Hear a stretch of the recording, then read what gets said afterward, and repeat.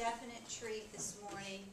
Please help me in welcoming Amit Talati to the lectern. His speech today is going to be on values and leadership in Toastmasters.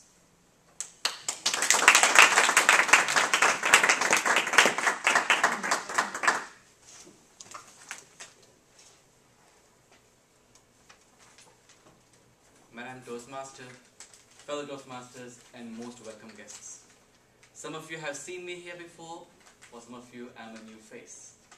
My name is Amit Talati, and I am your area governor. How many of you know how Toastmasters work? And a club is part of an area. An area is part of a Division. Oh, division. And a division is part of a District. district. And a district is part of a Oh, nation. Region. Okay.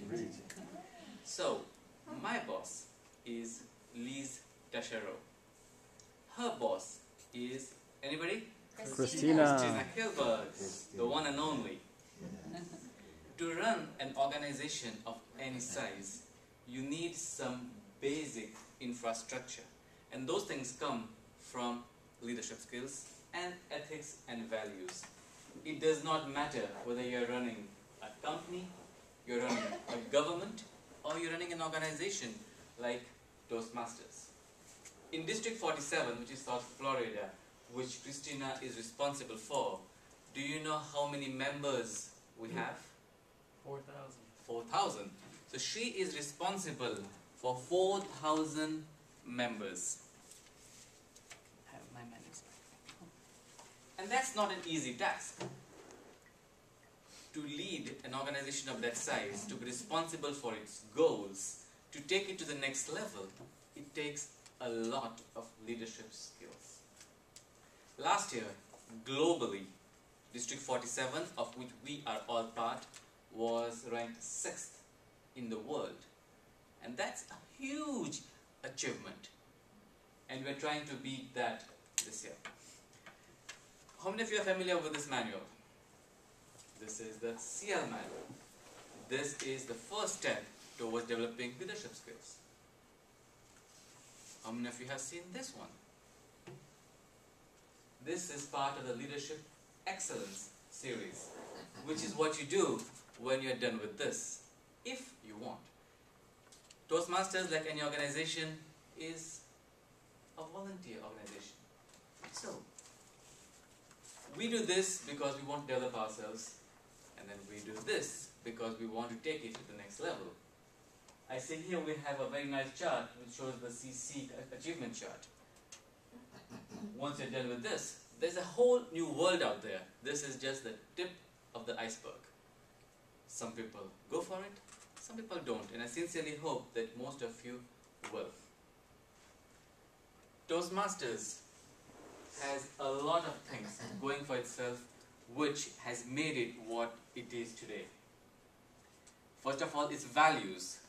What's the first thing you think of when you're going to vote? What are the values that this politician has? When you're picking up a life partner, a friend, one of the things that comes to your mind is are our values in sync? These are the fundamental beliefs and ideas held by as an individual or an organization. Toastmasters, doesn't matter whether you're here, you're in China, you're in New York, has four values. You go to their website and it's something that they promote. This is what we stand for. The first one is, is integrity. We see a lot of this in the world today. Are our politicians really people with integrity? Some, some of you will say yes, some of you will say no, some of you will say, who are we talking about? But that's one thing that comes to mind. Are our businesses, did what happened on Wall Street a reflection of the integrity of bankers? Uh, Don't know.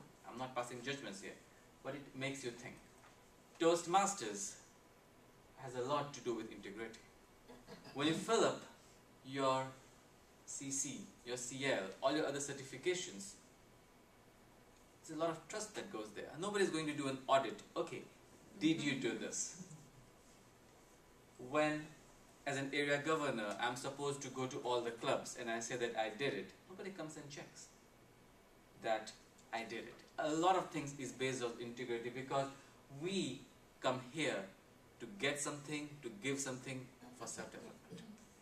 Toastmasters has a lot of emphasis on integrity. If you had to hire a plumber and you knew that one was a Toastmaster, the other one you pick it up from the yellow pages. You, you pick both of them from the yellow pages. And one of them is a Toastmaster and the other one also has good recommendation. Who would you go for?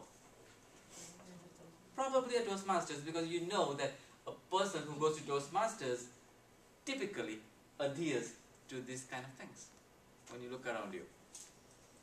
Dedication to excellence, which is what CC, CL, DTM is all about. Service to members. If any of you have been to any of the trainings, there's a, there's a district conference coming. We're expecting 500 people. This is the kind of things you realize that it's all about the members. And finally, respect for an individual. This should be number one anywhere, everywhere, in your family, in your organization, in your school. And Toastmasters makes sure that every person is treated with respect. So, what do we do about these values? We talk about them.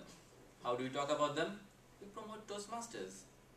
If you look at the pledge that you do, it's very important where it says that I will respect everybody.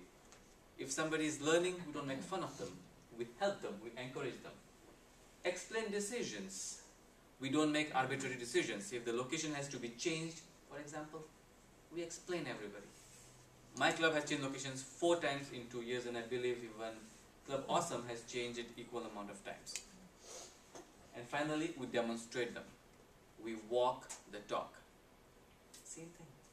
Not necessarily just here, but what we do here translates everywhere else.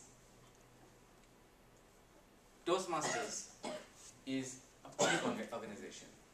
What we see here is part of a cell which is part of a bigger organism.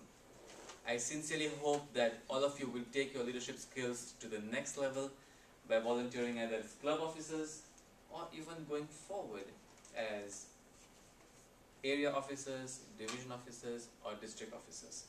You will find it extremely rewarding.